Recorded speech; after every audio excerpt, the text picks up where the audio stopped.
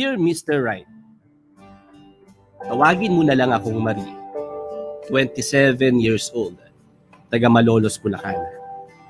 Gusto ko lang i-share sa inyo ang sitwasyon namin ng partner ko para na rin sa awareness ng lahat. Napakinggan ko kasi ang nakaraan mong episode. Tinamaan ako dahil alam ko na napakahalaga talaga ng mental health sa panahon ngayon. Takot ako sa panghusga pero sabi ko sa sarili ko habang ginagawa ko ang sulat na to, ito kasi ang nararamdaman ko. Alam naman natin sa panahon ngayon, napaka big deal ng mental illness at naapektuhan nito lahat ng bagay at isa na rin ang relasyon namin ng partner ko. Mayroon akong personality disorder. Sobrang nahihirapan ako makisalamuha sa mga tao dahil sa sakit kong ito. Lalong-lalo na ang relasyon namin ng partner ko na itago na lang natin sa pangalang Jomar. Pero masasabi ko na napakaswerte ko dahil siya ang lalaking nakilala ko. Maraming beses na hindi ko nakokontrol ang emosyon ko, Mr. Right. Pero pilit pa rin niya akong iniintindi at tinatyaga. Niyayakap niya ako at sinasabi niya palagi na gagaling ka rin. Magtiwala ka lang sa sarili mo. Sobrang hirap, Mr. Right. May mga pangyayari na rin na gusto ko na lang makipaghiwalay dahil naaawa na ako sa kanya. At pakiramdam ko, hindi niya ako deserve. Pero nandyan pa rin siya at sobrang thankful ako. Importante na kapag pumasok ka sa isang relasyon, iniintindi rin ng partner ang kalagayan mo. Dahil malaking impact yon sa magiging sitwasyon ng sarili mo. Totoo naman na mahirap makakilala ng mga tao na nakakaintindi sa mga taong may ganitong klaseng karamdaman. Hindi maiiwasan ng judgment galing sa ibang tao. Pero ang mahalaga, may isang taong nandyan palagi para sa iyo. Iniintindi ka at naniniwala sa iyo. Ito ang aking Blade Story, Marie. Bladers, ayan ha, para doon sa mga kapapasok-pasok lang, ito ang Blade Stories kasama ang Hugutero at ang Mr. Right mo kapapasok lang ninyo at kababasa ko lang din ng sulat. Ha. Para doon sa mga hindi umabot ng kompletong detalye, sumulat sa atin si Marie tungkol sa kanyang nararamdaman. Sabi niya nga, nagdadalawang isip siya na ibahagi ang kanyang kwento pero ang sabi niya, ito talaga yung nararamdaman niya eh. So kailangan niya magpakatotoo meron siyang personality disorder. Well, hindi naman ako uh, doktor, hindi ako professional para sa ganitong klaseng uh, bagay. Pero pag-usapan natin yung nararamdaman niya. Ang mahalaga kasi dito yung nararamdaman niya. Sabi niya nahihirapan na siya. At sabi niya, meron siyang partner, meron siyang boyfriend na si Jomar na hindi siya pinababayaan at laging nandyan sa tabi niya. May pagkakataon na gusto niya ng hiwalayan dahil pakiramdam niya hindi niya o hindi siya deserve nitong boyfriend niya. Nahihirapan siya pero ang lagi sinasabi sa kanya ng boyfriend niya, huwag kang mag-alala, gagaling ka at yayakapin siya ng mahigpit. Kitang-kita rito yung pagmamahal ng boyfriend niya, di ba? Kaya ang tanong ko kanina sa iyo, Bladers, sa ikaw na nakikinig ngayon, ikaw na nakatutok ngayon, hanggang saan ka magtitiis, hanggang saan ka magsasakripisyo, kaya mo bang tiisin ng isang tao kahit hirap na hirap ka na alang-alang sa pagmamahal mo sa kanya? usapang emosyon, usapang pagmamahal at usapang sakripisyo ang pagkukwento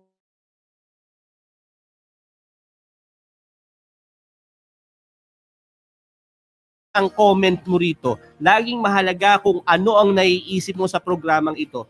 Tulungan natin si Marie. Pagaanin natin ang kanyang kalooban. Kaya i-share mo na, mag-tag ka na ng mga friends mo, and uh, let's see, di ba? Baka mamaya mas makabuo tayo ng isang conclusion na, applicable para sa lahat ng tao. And again, disclaimer lang, hindi ako professional. Pero alam ko kasi ang pakiramdam ng mga taong dumadaan sa ganitong klaseng sitwasyon. Kaya ano pang hinihintay mo, Bladers? Comment ka na at yung sinasabi ko na target natin na live viewers, ha? aba, 1,000 pesos din yan. Ha? Saan mo hahanapin yan? Via Gcash, hindi ka na alas wala kang pupuntahan na iba. Di ba? Makita ko lang na mag 100 yung live viewers natin, automatic mamaya sa raffle, ipamimigay ko ang 1,000 na yan. Oh, ayan ha. Kaya comment ka na, comment ka na. Babasa na tayo ng comments. Mas masarap na marami tayong nagkukwentuhan tungkol dito. Mahirap eh. Hindi madali yung sitwasyon na ganito pero napakaswerte ni Marie at natagpuan niya si Jomar na nandyan lagi sa tabi niya. Ganyan ka rin ba? Ganyan ka rin ba doon sa taong mahal mo? Alam nyo, minsan napakahirap intindihin. Kaya sabi ko, gusto kong marami makaunawa nito. Merong mga magkakapartner, yung iba nga magjojowa, mag-aasawa, magkaka-live-in. Di ba, matagal na sila magkasama. Pero the moment na dumating doon sa partner niya, yung ganitong sitwasyon, kapag dumating yung mental illness na sinasabi doon sa partner niya, hindi niya minsan nauunawaan. Kasi kulang siya ng knowledge. Hindi niya alam kung paano yun aatakihin. At ang hirap nun para sa kanilang dalawa. Una, doon sa taong nakakaranas ng karamdaman. Ang hirap dahil pakiramdam niya hindi siya naiintindihan. Mahirap din naman yun doon sa side noong kasama na hindi rin naiintindihan yung sitwasyon niya. Dahil paano ba to? Ano ba to? Lagi na lang bang mainit ang ulo? Lagi akong inaaway? Anong dahilan? Wala naman akong ginagawa. Ano ba to? Tinatamad lang ba tong kumidos? Tamad ba tong magtrabaho? Ayaw bumangon? Ano ba to? Naghahanap lang ba ng pag-uusapan? Naghahanap lang ba ng gulo para maghiwalay kami? Yan yung mga tanong. Mahirap, di ba? Ang hirap kapag hindi kumpleto yung knowledge mo tungkol sa bagay na to. And I would really appreciate kung meron ditong mga bladers natin na knowledgeable enough para magbigay ng kanyang komento para mas maliwanagan tayo dito sa pinag-uusapan natin, ha? Ayan, sabi dito, ni Regen and Dunilla, magtitiis ako hanggat kaya ko, lalo na ko ang pinagtitiisan ko, yung taong naging bahagi ng hirap at saya ng buhay ko. Sabi nga, pag mahal mo, ilalaban mo hanggang dulo at lahat naman ng pagtitiis ay may bunga.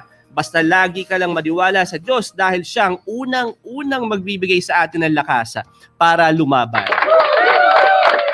And amen to that. Totoo yan, di ba? Kapag talagang ubus na ubus ka na, talagang isa lang ang hindi mo bibitawan, di ba? Ang pananalig at paniniwala mo sa Kanya. Kaya doon sa mga nagsasabi na magdasal ka lang, gagaling ka, of course, nagdadasal ng tao. Sino ba naman ang gustong nahihirapan, di ba? Pero yun nga, ang gusto kong puntuhon dito, ay napakaswerte dito ni Marie dahil may handang umintindi sa kanya. Pero hindi lahat may Jomar na handang umintindi sa isang tao na may ganitong klaseng karamdaman. Napakahirap, di ba? Ito, as example, meron kang kasama sa bahay na hindi mo alam ang dahilan kung bakit siya nagkakaganon. Ang init ng ulo, ang bilis mainis.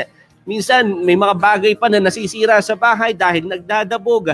May mga ganyang instances sa buhay ng isang tao kapag dumaranas ka ng ganitong klaseng karamdaman at hindi mo matanggap sa sarili mo na may ganito kang klaseng sakit. And let's admit, di ba, kahit na may mga grupo na sumusuporta sa mga taong may mga mental illness, aminin pa rin natin na hindi mura ang pagpapagamot. Kaya maraming salamat doon sa mga grupo na handang tumulong para mapagaling at gumaan ang pakiramdam ng mga taong nahihirapan. E paano nga kung hindi mo alam na yung partner mo ganun ang pinagdadaanan? Dahil yung may mga ganitong sitwasyon, o sabihin na natin for example yung may depression, hindi naman yan basta-basta aamin, hindi niya malalaman sa sarili na na-depress siya. Kaya napakahalaga na ma-diagnose ka napakahalaga to seek professional help. Hindi sapat yung sasabihin mo lang sa sarili mo na baka nalulungkot ka lang, kaya ka nahihirapan. No, wag kang mag-self-diagnose. Mas maganda na may professional na titingin at magsasabi sa iyo kung ano talaga ang nararamdaman mo para ma-address yan ng maayos. And at the same time, doon sa mga tao na sumusuporta dapat sa iyo, dapat matibay din sila dahil wala silang ibang kakapitan kundi ikaw. O dahil kung pati ikaw ay nangihina at nakikita pa niya na naiinis ka sa kanya, abay lalong bababa ang self-esteem niyan. Lalo yan mawawala ng pag-asa sa buhay, di ba? So comment na, comment na mga bladers ha. Sabi ni Rose Beryl Betita, kahit anong problema o pagsubok sa relasyon, marapat magsakripisyo at magtiis dahil magkasama kayo sa hirap at ginhawa. Hindi lang love ang dapat na sa relasyon ninyo, dapat may trust. Ipaintindi sa isa't isa. Keeping a healthy relationship including the physical and mental health ng bawat isa. Importante na sa lahat ng pagsubok ay katuwang ka sa pagharap nito. Agree, di ba? The moment na pumayag ka na kayong dalawa ay magsama, na kayong dalawa ay lumagay sa tahimik, lalo na yung mga kasal na at nangako sa isa't isa na hindi mag-iiwanan. Yun yung sinasabi, di ba? In sickness and in health. Tama ba yung sinabi ko? O basta sa hirap o ginhawa na lang. Sa hirap at ginhawa, abay dapat kayong magkasama. Hindi pagdating doon sa may nahihirapan na umaatras ka na. Hindi. Doon mo mas lalong mararamdaman ang tindi ng iyong pagmamahal the moment na may sakripisyo ng nagaganap sa inyong pagsasama. Again, ha, uulitin ko to at ilang beses ko na itong sinabi na ang isa sa pinaka magandang pakiramdam ay nagsasakripisyo ang mahal mo para sa iyo dahil yun ang totoong kahulugan ng love. Dahil totoo na naniniwala ako na love is really a sacrifice. Host Meryl Betita, sa isang relasyon dapat give and take. Kung may mapagod man sa isa sa inyo, mararapat na mag-usap kayo tungkol dito at kailangan na magsakripisyo ang isa sa inyo para matulungan ng mahal mo na bumangon at maging positibo uli sa buhay. Kaya napakahalaga, Bladers, na meron kang support group. And uh, I mentioned this with our previous episode na talagang kailangan talaga meron kang suportang nakukuha. At yung mga taong sumusuporta sa'yo, dapat knowledgeable din sila kung paano ka suportahan, di ba? May mga salita na dapat iwasan, may mga salita na dapat marinig ng isang taong dumaranas ng ganitong karamdaman. Sakit to eh, di ba? Parang meron ka halimbawang ano ba, uh, ulcer for example. Sakit ang ulcer. Ngayon, kapag may ulcer ka, bawal ka malipasan ng gutom, bawal kang uminom ng soft drinks, maraming bawal. Same, di ba? Sa ganitong klaseng karamdaman, may mga bawal marinig, may mga bawal ipakita, And yun yung mga bagay na dapat gawin ng mga tao na handang sumuporta sa pangangailangan. For example na lang ng letter sender natin na si Marie. 'Di ba? Good thing at nandiyan si Jomar. Sinasabi ni Marie, minsan gusto niya ng hiwalayan dahil parang hindi siya deserve ni Jomar. Yan ang nararamdaman ng mga taong dumaranas ng ganito dahil nararamdaman nila na parang sila ang nagiging pabigat dun sa mga tao sa paligid nila. Eh, ang hirap nun, di ba? Nahihirapan ka na sa kalooban mo dahil uh, pakiramdam mo, hindi mo na alam kung ano magiging bukas mo. Plus, nadadagdagan yung hirap mo dahil pakiramdam mo, isa ka sa dahilan na nagiging pabigat doon sa mga tao sa paligid mo. Ayan ha, comment pa rin. Jenny Gonzalez Herrera, masarap ang pakiramdam na may taong nakasuporta sa iyo. Kaya dapat laban lang kasi hindi ganun kadali ang pinagdadaanan mo. Pero yung partner mo andyan at laging nakaalalay sa iyo. And I want to take this opportunity, ha? Sana parehas kayong nanunood, parehas kayong nakikinig ni uh, Marie at Jomar. Jomar, maraming salamat sa iyo. And ito yung mga tao na isa talaga sa dapat mong pinagpapasalamatan dahil sila rin yung isa sa mga taong masasabi mong matitibay at matatapak at totoo yung pagmamahal na nararamdaman. Ikaw ba naman yung may kasama na hindi mo minsan maintindihan ng takbo ng isip? Ikaw yung may kasama na minsan hindi mo alam kung bakit nagagalit sa iyo, hindi mo alam kung ano yung gagawin mo, hindi mo alam, wala kang idea how to pacify yung bagay na dapat sana simple lang, di ba? May mga bagay kasi sa ganitong tao na parang ang simple-simple para sa iba, pero sa kanya big deal na. And yung gusto kong sanang iparating dito, na maging aware tayo. Kaya nga sabi ko, di ba, i-share mo yung video na to, di ba? Para matigil na yung ganitong stigma. Let's use this program para mas lumawak ang kaalaman ng mga tao sa ganitong klaseng sitwasyon. Dahil aminin natin sa hindi, may manghilan-ngilan pa rin na kapag nakarinig ng ganyan, ang sinasabi, nag-iinarte pero sana huwag din naman gamitin ng mga ibang tao ang salitang depresyon para lang masabi na hindi sila okay. Kaya ang sinasabi ko dito, it's very important na ma-diagnose ka talaga at kung ano ang pinagdadaanan mo. Ang hirap kasi, di ba, minsan sa simpleng, simpleng kwentuhan, magagamit, na-depress nga ako eh. Ah, sorry ha, depressed kasi ako ngayon eh. Okay, ganyan nararamdaman mo iba ang sadness, iba ang depression, iba yung madadiagnose ka talaga, di ba? Kaya please seek professional help. Ngayon, may mga grupo naman na handang tumulong. Hindi mura pero may mga handang tumulong para ikaw ay masuportahan. Sabi ni Kasaya, Sir Gillian Jenny, I feel your partner. I have a live-in partner, may pagka-bipolar siya. Mahal mo eh. At pag mahal mo ang tao, di mapapagod pag nakaramdam ka ng pagod, isipin mo yung bagay o bakit mo siya piniling mahalin. Napakaganda. Napakaganda. And uh, I'm proud of you ha. Pa, palagi po si Kasayas ba yun? Diba? Si Kasayas Jenny um, nakaka-proud yung ganyang klase ng tao. And uh, ako, personally, nagpapasalamat ako sa iyo dahil sa ginagawa mo sa partner mo. And hindi madali, lalo na, di ba? Sabi mo, may pagka-bipolar siya. Mahirap pakisamahan, di ba? May mga time na okay, tapos biglang hindi. So parang dalawang klaseng tao yung kasama mo na hindi mo alam kung kailan siya magiging okay, pero nandyan ka. And totoo yun eh nasa mga time na parang nahihirapan ka na at bibitaw ka, isipin mo yung mga panahon na masaya kayo. Sasayangin mo ba yung mga pagkakataon na pinagsamahan ninyo na naging okay kayo, na naging masaya kayo? Dahil lang sa mga bagay na pwede mo naman pag sakripisyuhan, pagtiisan at paghirapan. Kapag mahal mo ang tao, ito ang tatandaan mo, Bladers. Kapag mahal mo ang tao, mahal mo. No ifs, no buts, but mahal mo siya talaga at sapat na yon para tulungan mo at huwag siyang iwanan. Rosemary Betita, if ever knew you are suffering from mental health, masarap sa pakiramdam na may taong sumusuporta sa iyo. But most of the time, ang kailangan ng taong may mental health illness ay isang taong makikinig lang sa lahat ng concerns, doubts, and feelings mo. Minsan, mas okay na maging listener ka lang sa mga taong may mabigat na nararamdaman. Totoo kailangan nila yung makikinig sa kanila. Ang kailangan nila yung mapaglalabasan nila ng kanilang nararamdaman. Dahil ang mga taong yan, akala mo tahimik yan, pero kinikimkim kasi nila dahil hindi nila alam kung paano sabihin, di ba? Napakahirap ilagay sa salita ng nararamdaman. At totoo yan, di ba? Minsan hindi ka makahanap ng perfect word to express kung ano talaga yung nararamdaman mo. And yan yung mga kailangan ng mga ganitong klaseng tao. And sana dumami yung mga ganyang klaseng tao, yung handang makinig, yung handang dumama, yung handang laging nandyan lang, di ba? Yung hindi natatakot na magbigay ng kanilang time doon sa mga taong nangangailangan ng ganitong klaseng tulong. Napakahalaga na kapag oras mo ang ibinigay mo sa isang tao dahil kahit kanino, ang time ay napaka-precious. At kapag oras ang binigay mo sa isang tao, masasabi ko na sa iyo na thank you dahil yung oras mo ay ibinigay mo alang-alang para sa iba. Diba? Ay, di yan. Ito pala dapat. Sabi ni Roxil, tumalak ba, uh, tumalab ka, napakaswerte mo kung may isang taong andyan sa panahon na hirap na hirap ka na, kaya kailangan pa halagahan, ituring mong kayamanan kasi bilang, uh, bilang na lang yung ganyan, nasasamahan ka sa hirap at ginhawa. Hmm. Diba? Kaya kapag natagpuan mo na yung dawan, well, walang perfect. Lagi ko sinasabi yan. Walang perfectong tao pero may tamang tao para sa iyo. And mari itong si Jomar, siya yung tamang tao para sa iyo. 'Di ba? Para yakapin ka at para sabihin na magiging okay ka rin. Napakasarap na sa pakiramdam noon, 'di ba?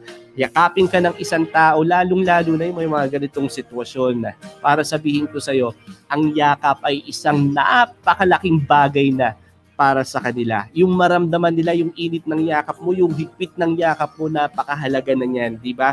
Ngayon, minsan yung iba, yung may mga hindi ka, may mga kasamaan na loob, gusto rin nilang yakapin. Yung mga may kasamaan ng loob nila, kaya lang gusto nila mahigpit na mahigpit, pero sa liig. O, ayan ha. Roslyn Rivera, nakarelate ako kasi nararamdaman ko na nahihirapan siya pero patuloy pa din siya sa tabi ko. Hindi niya iniinda yung hirap, papasaya lang ako lagi la sinasabi, magiging okay din ang lahat at magdasalan tayo. Di ba? So talagang uh, may regalo ang langit sa tao. At yan yung mga tao nga makikilala mo at mag stay sa buhay mo. Di ba? Yan ang regalo na magandang matatanggap mo sa isang buhay mo. Yung makatagpo ka, makasama ka ng isang taong kahit na ano mangyari, handang magsakripisyo at hindi ka iiwanan. Di ba? Bakit ba yan lagi? Ito dapat. Oh, ayan ha. Clyde Marinas, very good ang partner mo. Ganyan talaga dapat ang pinipiling partner. Shout out sa lahat ng mga single na may mental disorder. Piliin maigi ang taong mamahalin. Yung hindi kay iwan, na kaya kang samahan sa lahat ng intindihin. Ah, intindihin sa lahat ng pinagdadaanan mo kung hindi yung iiwan ka sa era. And please, di ba? And please, kapag may lumapit sa iyo, nag-open up sa iyo, well, dapat magpasalamat ka dahil napili ka niya para sabihin sa iyo ang kanyang nadarama. Oh, ayan ha. Sabi ni Guevara, Jean Pauline Figueroa, sa sitwasyon ko ang hirap. Ganyan ako, bigla na lang magalit pero ang swerte ko lang, nandyan pa rin siya sa akin. Hindi niya ako sinusuko. Diba? Bagay hindi mo ma-explain, di ba? Pero nararamdaman mo lang. Pero kung meron kang partner na naiintindihan ka, napakasarap. Pero syempre, tao lang din naman tayo. May mga pagkakataon na parang minsan ay sumasagad yung ating pasensya. Uh, habaan pa natin, eh. intindihin pa natin. Kaya nga lagi ko sinasabi, paulit-ulit ko sinasabi, seek professional help dahil yan ang talagang makakatulong. Kung sakit man ito, kailangan gamutin. At ang karamay mo rito ay yung doktor na gagamit sa'yo, yung pamilya mo, yung partner mo na hindi kayo iwanan at aalalay sa'yo hanggang sa maging okay na okay ka talaga.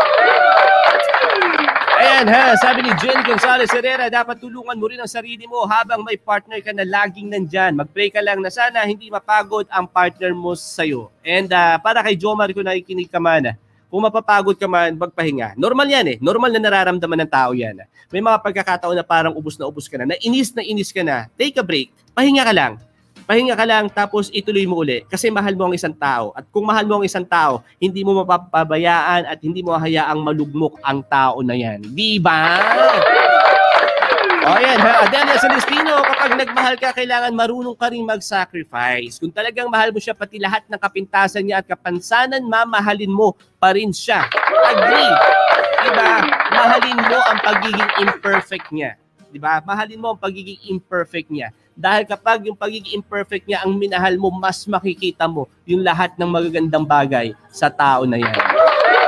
Oh, diba? Ang sarap, diba? Ang sarap ng ganyang feeling kapag natagpuan mo yung tao na, na may nagmamahal sa'yo at hindi kayo iwan. Kaya ikaw, ah, uh, Marie, hopefully maging okay ka na. Sana magpa-doktor ka, sana magpatingin ka, seek professional help. Si Jomar, uh, let's consider him na swerte mo siya sa buhay niya. Well, hindi ko huhusgahan yung nararamdaman mo dahil alam ko mahirap yan. Meron kang sariling nararamdaman.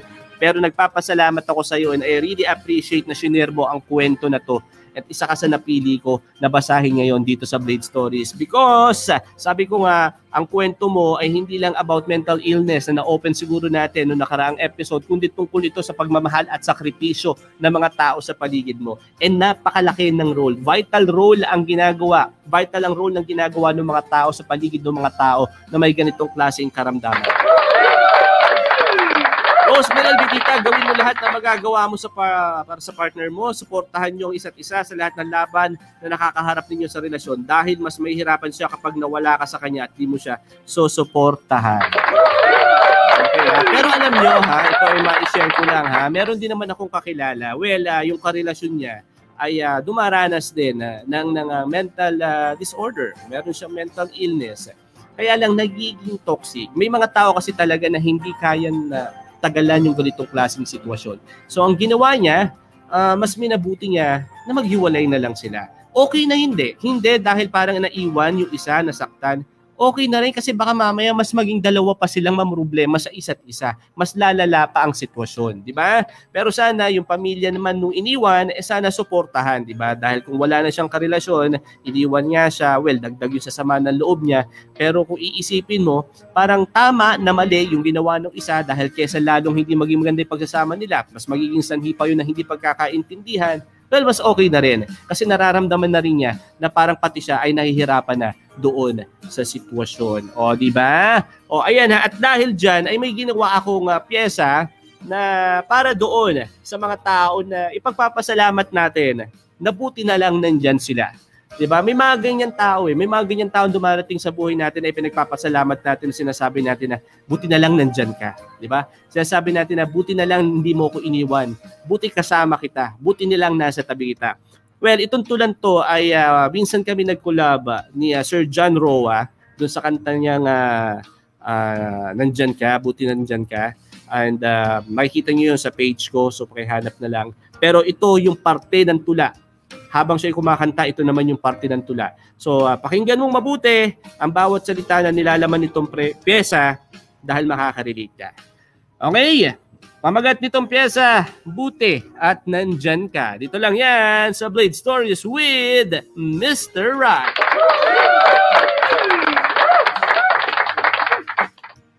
Napakaraming hamon nitong ating buhay mula sa pagkakaiba-iba ng kulay hanggang sa paghagilap ng kakapitang kamay. Napakakomplikado nitong universo lalo na at di mo makita ang kaibahan ng kasinungalingan at totoo. Bitbit sa balikat ang mga tanong na napakagulo, mga pangyayaring komplikado kaya parang minsan ang puting bandila ay iwawagayway ko at ubod lakas na ihiyaw na ayoko na dito. Ngunit patuloy akong kakapit kakayanin at ipipilit. Titiisin ang tapik ng araw na nakasusunog ang init. Tatyagiin ang lamig ng ulan na sa kalamnan ko ay sumisingit. Dahil lagi kong iisipin na nandyan ka at hinding hindi mo ko ipagpapalit. Hindi mo ko iniwan, lagi kitang gabay at patuloy na sinasamahan. Inaalalayan habang binabagtas ko ang matinik na daan patungo sa pangarap na nais makamtan. Ikaw ang kahulugan ng mga salitang magpakailanman. Ikaw ang kahulugan ng tuwa at kaligayahan dahil ikaw ang kahulugan ng salitang mahal kita. Mahal kita at walang katapusan. Kaya buti at nandyan ka, kaya pinapasalamatan kita. Buti at nandyan ka, kaya di ko ramdam ang mag-isa. Buti at nandyan ka, nakaramay ko sa tuwina Buti at nandiyan ka, kaya umaasang di rin kita ipagpapalit sa iba. Dahil ikaw ay natatangi at ikaw ay nag-iisa. Ayan ha, kaya Bladers, kung meron kang mga ganyan, yung mga natatanging tao, buti nandyan ka, well, this is the right time siguro, i-message mo siya, i-text mo siya, i-PM mo siya, tawagan mo siya, and just say thank you. Magpasalamat ka dahil nandyan sila. Di ba? And uh, doon sa mga may pinagdadaanan, kaya natin to. Ito ang laban na hihintay nating matapos at sisiguraduhin natin na sa dulo, tayo ang mananalo. Oh, ayan ha, Gretchen Alvario, tago sa puso at tula ang ganda. Maraming maraming salamat po. Thank you, thank you. And uh, ako every time na gumagawa ako ng tula, every time na gumagawa ako ng pyesa, I see to it na lahat ng ginagawa kong pyesa ay hindi lang po sa isip ng gagaling, kundi dapat nararamdaman ko ang bawat salita. Dahil gusto ko ring maramdaman ninyo ang lahat ng tula na aking ginagawa. Okay, yeah, sabi ni Jenny Gonzalez, Herrera, laban lang at huwag susuko, be strong. O, ayan ha, pahabol pa tayo ng mga gusto pang uh, magpa-shoutout dyan at may mga comments. O, ayan ha, hindi ko kasi mabasa yung pangalan eh. O, sige na, aminin ko na, nalimutan ko yung pangalan mo kasi kung code name pa yun, hula tayo nakapag-usap eh. Anyway, sabi niya, matuto tayo magmahal sa mga taong nagmamahal sa atin, lalo na kung malayo sa bawat isa. Mahirap magmahal, lalo kung malayo kayo sa bawat isa, maswerte pa rin na magkasama kayo. So dapat, di ba, seize the moment, i-treasure nyo yung bawat time na kayo ay magkasama. Di ba? Oh, ayan ha.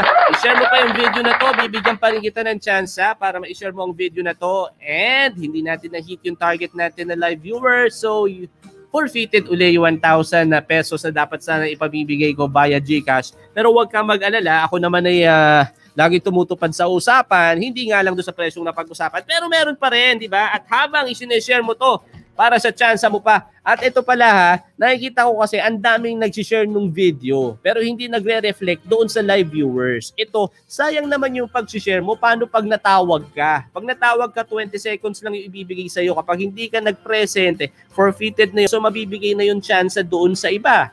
Diba? So sayang. Dapat sana kapag nag-share ka, tuto ka na ibigay mo na yung isang oras mo dahil dito mag enjoy ka, matututo ka, makakapagpa-shoutout ka, and syempre meron kang mapapanalunan. O, i-share mo na ha, habang ipinapakita ko sa ito ha. Ito, mula to sa Dub, dito pa rin yan sa Blade Auto Center ha, Gravity Phone Holder. Ay, ang ganda nito ha, ang ganda nito. I, uh, ito yung safe na pang uh, hawak ng mga cellphone nyo. Ilalagay lang to, iipit lang to dun sa aircon ninyo ha. Gravity Phone Holder murang-mura lang to ha, 649.75, 'di ba? Kaysa kung saan-saan mo lang ipinapatong yung cellphone mo kapag uh, nabu-waste ka, kapag meron kang hinahanap, 'di ba? Ito, mabibili mo na to sa Blade Auto Center. O, ito naman ha, para doon sa mga nagbibisikleta o kaya doon sa mga nagmumotor, 'di ba? Meron tayong arm sleeves. Ito, 'di ba? Para doon sa mga ayaw ding umitim. 'Di ba? Lalo-lalo na kung uh, lagi kang bumabiyahe doon sa mga rider natin ng rider ng Grab, di ba? O, ayan ha, yung Grab Mart. O. Ayan, meron dito sports arm sleeves, 249.75 lang din yan. Ako, napakamura naman yan at makikita mo yan ha, sa blade.ph at ito, ay ibang kulay naman to yung nakaraan, itim. Ito, ano to, parang gray. Ganda rin ito. Oh. Ayan, oh, tingnan mo yung helmet. Oh, ganda. Oh, oh ganda. Kaya kung ako sa'yo, aba, eh, kung kulang pa ang budget mo, paringgan mo na yung misis mo, kaya yung jowa mo, alam mo, gustong gusto ko na talaga magka-helmet eh feeling ko talaga, ang pogi-pogi ko pag naka-helmet ako eh. Kasi ang pera ko pala ngayon ay 1,500, ah, kulang pa ng 1,500. Eh kung isinare mo sana yung video tapos nag 100 live viewers tayo, eh di sana meron ka 1,000, 500 na lang ang kulang mo. Eh, di ba? Ay, ayan ha, pero pero biro, ganda dito marami pa kayong kulay na makikita dito ha. Uh, punta lang kayo sa blade.ph, safe ka na, forma na, at pinakamahalaga kasi talaga dito, yung safety. Kaya kung meron ka na motor, aba kailangan, meron ka ring helmet, di ba? O, oh, ayan, o. Oh. Ano ba? Oh, sabi ni Gretchen, wow, ang ganda, bagay sa asawa ko yan. Aba, ibili mo na. Oh, malapit na Father's Day, ha? Malapit na Father's Day. Oh, yan. Okay, so uh, yung mga nag-share, sabi ko nga sa iyo, sana nakatuto ka. Ang dahil nag-share eh. Ang daing nag-share, pero yung uh, views eh hindi nagtatali. So sayang lang, nangihinayang lang ako doon sa chance kasi baka mamaya ikaw yung matawag tapos hindi ka naman nakatutok. Eh 20 seconds lang ang ibibigay namin sa inyo. Okay, anyway, Marie, Wala akong ibang hiling kundi maging okay ka. And Jomar, kung ikaw ay kasama ni Marie, sana huwag kang magsawa, patuloy mo siyang mahalin. Sigurado ako darating ang oras at araw na magiging okay kayong dalawa dahil sa pagmamahal na nararamdaman nyo sa isa't isa. Di ba? So paano? Okay, ganito ha. Yung unang spin natin, ang mananalo ay uh, magkakamit ng papremyo mula sa Blade Oro Center ha. And siyempre yung second spin naman natin, ayan, eh, hindi natin na-meet yung target natin na viewers. O di, doon ulit tayo sa 250 pesos. Ayan ha. Wala eh. Oh. One-fourth eh. Oh. Ayan, nakikita ko, one-fourth nung uh, target ko na 100, nag-29. So one-fourth no, 250. O di ba? Maski mali, pinasobrahan ko lang ng konti. Anyway, sige. Okay, first spin tayo ha. First spin tayo for a chance to win uh, merchandise from uh, Blade Auto Center. O, oh, ayan ha. Kung may mga gusto pang humabol, abay, habol ka na. Habol ka na, isipin mo yan, ang daming nag-share, pero bakit hindi ka nakatutok? Sayang yung pagkakataon. Inasabi ko sa iyo, wag mong, eh, naku, sasayangin mo. Isang oras mo, sabi ko sa iyo, susulitin ko rito. Eh, naku, ikaw. Pwede na tayo mag-spin? Okay, first spin. Ayan na, congratulations sa iyo. 20 seconds ang ibibigay. Comment ka ng present. 20 seconds lang ha. Congratulations kay Joanna Canonizado in 20. 19, 18, 17, 16, 15, 14, 13, 12, 11, 10, 9, 8, 7, 6, lo, 5, lo, 4, ina, 3, 2, and One! Oh, sorry. Yan ang sinasabi ko. Nag-share ka, hindi ka naman tumutok. Sayang. Okay. Give chance to others. Spin ulit tayo. And congratulations. Ayan ha. Kay Regen Indonilia in 20, 19, 18, 17, 16, 15, 14, 13, 12, 11, 10, 9, oh, pumiyok pa. 10, 9, 8, 7, 6. Ayan ba? Ayan na. Ayan na si Regen. Regen! Congratulations! Oh, di ba? Yan yun. Oh, sabi pa ng isa, wali. Eh, hindi, eh, meron eh. Oh, ayan ha. Ganun lang, tutok lang. Ay, congratulations, Regen and Donilia. Wala kayo bang gagawin kundi uh, mag-send ka ng PM sa Blade Auto Center and uh, they will tell you, oh, nasabihin pa siya. Oh, nasabihin nila, instruct ka nila kung paano mo makakuha ang iyong papremyo. Congratulations, ha? Oh, ito na. Ay, naku, sayang. Sabi ko nga sa'yo, sayang naman talaga yung 1,000 pesos. Hindi natin na-meet yung number of viewers. Anyway, oh, ito na. Itong spin na to ay mananalo ng 250 pesos worth via GCash. Deserve po ako para sa 1K. Eh hindi nga tayo. Sabi ko nga sa inyo, di ba kanina, meron tayong agreement. Ang usapan ay usapan. O, oh, ayan ha. O, oh, sige. Ito, ang uh, mananalo ng 250 pesos via GCash. Congratulations kay... Ayan na, ayan na, ayan na kinakabahan-kabahan na. Congratulations sa iyo, Josephine Gary! 20, 19, 18, 17, 16, 15, 14, 13, 12, 11, 10, 9, Tama ba? 8, 7, 6. Ayun na! Josephine Gary present! Congratulations sa iyo ha! Nanalo ka ng 250 pesos.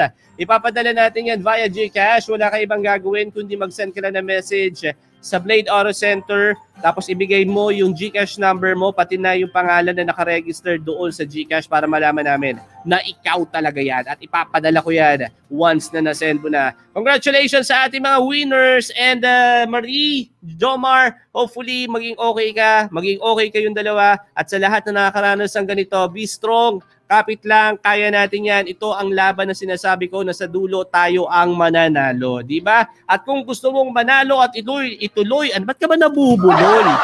At ituloy ang laban. Aba, itumuto ka na rito sa Blade Radio dahil mula lunes hanggang linggo magkakasama tayo.